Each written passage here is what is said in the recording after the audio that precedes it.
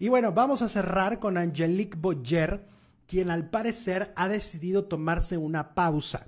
A ver, en el 2021 trabajó tanto en Imperito, este, en Imperito de, de Mentiras, como también, por supuesto, trabajó en Vencer el Pasado.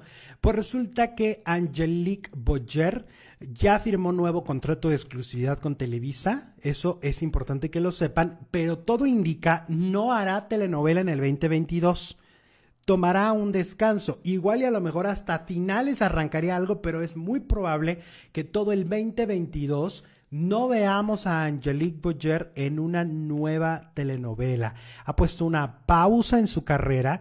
Insisto, no se está yendo de Televisa, firmó en contrato de exclusividad con Televisa, pero sí se está yendo al menos por un año de la pantalla de Televisa.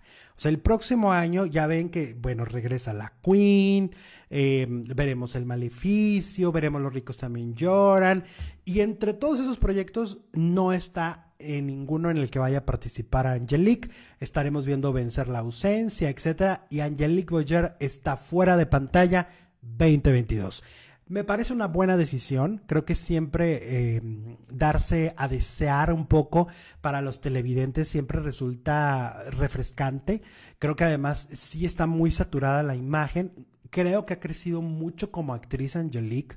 Angelique en sus últimos proyectos, desde mi punto de vista, ha mejorado mucho. Particularmente en Vencer el Pasado, a mí en lo personal me gustó bastante.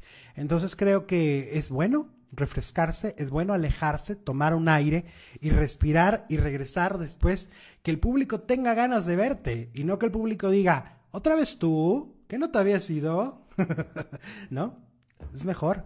Oiga, ya me voy, ya me voy. Llevo más de una hora con 35 minutos transmitiendo en vivo para ustedes.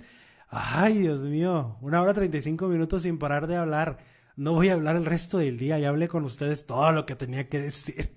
Los quiero mucho y los quiero ver triunfar. No, esa es mi sada. Esa es mi sada al éxito. Ya, me controlo. Bye.